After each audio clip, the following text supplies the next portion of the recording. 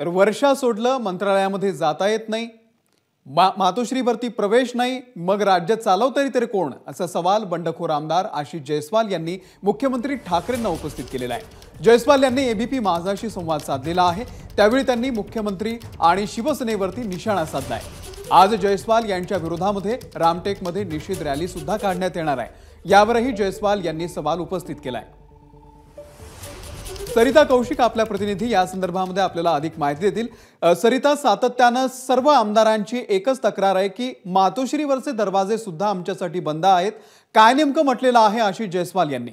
आशिष जयस्वाल हे नागपूर जिल्ह्यातील रामटेक येथील आमदार आहेत. ते अपक्ष निवडून आले होते दोन हजार एकोणीसला. खरं तर त्याआधी आशिष जयस्वाल आणि शिवसेना अत्यंत कट्टर शिवसैनिक म्हणून त्यांची ओळख होती. मात्र तिकडनं दोन हजार एकोणीसच्या निवडणुकीमध्ये युती झाल्यानंतर भाजपच्या उमेदवाराला उमेदवारी देण्यात आली आणि त्यामुळे आशिष जयस्वाल यांनी तेव्हा बंडखोरी केली होती. ते अपक्ष निवडून आले. आज त्यांच्या विरोधामध्ये तिथली शिवसेना निषेध रॅली करणार आहे. तर आशिष जयस्वाल यांच्याशी गुवाहाटीमध्ये संपर्क ह्याबाबत साधला असताना त्यांचं म्हणणं होतं की मी बंडखोर कसा असू शकतो? हाच त्यांचा पहिला सवाल आहे. कारण त्यांचं म्हणणं हे आहे की मी बंडखोरी ही दोन हजार एकोणीसला केली. त्यावेळेला माझ्या विरोधात निषेध रॅली करायची होती ती तुम्ही तेव्हा केलीत का? आज मी अपक्ष आहे मला संविधानाचा अधिकार आहे मी कुठंही जाऊ शकतो आणि त्यामुळे आज मला बंडखोर म्हणून माझ्या विरोधात निषेध रॅली करण्यात काय अर्थ आहे? त्यावेळेला तुम्ही भाजप शिवसेना युतीच्या उमेदवारासाठी रॅली केल्या माझ्यासाठी नाही.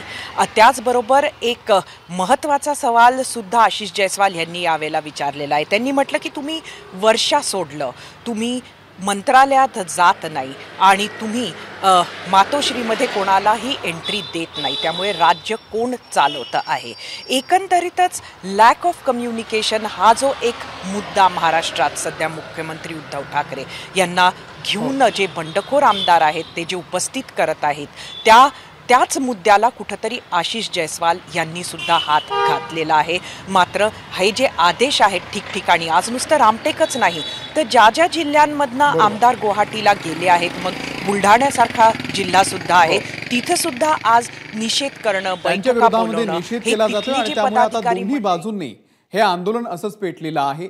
सरिता धन्यवाद दिलेल्या या संपूर्ण माहितीबद्दल. एबीपी माझा उघडा डोळे बघा नीट.